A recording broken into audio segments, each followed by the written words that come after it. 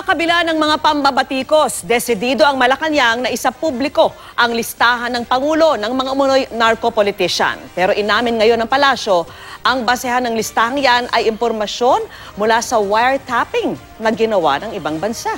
Nakatutok si Joseph Moro. Sa tulong ng impormasyong ibinigay ng ibang bansa na buo raw ang narco list ni Pangulong Duterte, listahan ng mga politikong sangkot umano sa illegal na droga. At ang impormasyon na yan ayon kay Presidential Spokesperson Salvador Panelo nakuha sa pamamagitan ng wiretapping. Bawal ang wiretapping sa Pilipinas nang walang permiso ng korte pero sabi ni Panelo, wala daw batas na nagbabawal sa ibang bansa para gawin ito at ibahagi sa Pilipinas ang makukuha nilang impormasyon. Ang mga nagpo-provide sa atin, mga sa ibang bansa eh. Ang magagaling dyan, Israel. Magaling dyan, America, They're doing the Russia, China. In other words, they provide us with information. Wala namang kasalanan ng gobyerno doon kasi binigyan ka ng informasyon. If it pinpoints a criminal activity and on the basis of that you surveil the person subject of such an information, hindi masama yun. Dina-validate pa ng Philippine Drug Enforcement Agency o PDEA ang naturang listahan. Sabi ni PDEA Director General Aaron Aquino, 82 na mga politiko ang nasa narco list.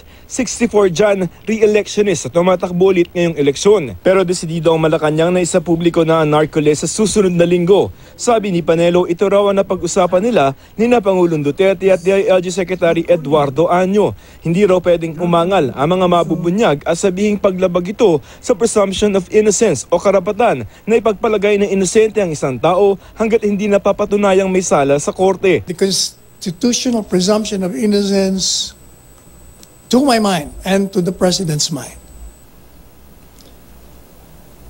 have been waived by reason of the running for public office. Because when you run for public office, everything is a fair game.